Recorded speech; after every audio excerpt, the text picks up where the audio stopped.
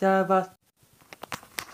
Chciałem wam powiedzieć widzowie, zostawcie łapkę w górę i zasubskrybuj mój kanał, żeby być na bieżąco ja yy, z wami się żegnam. Do widzenia i na razie. Pa pa, dobranoc. Wesołych świąt.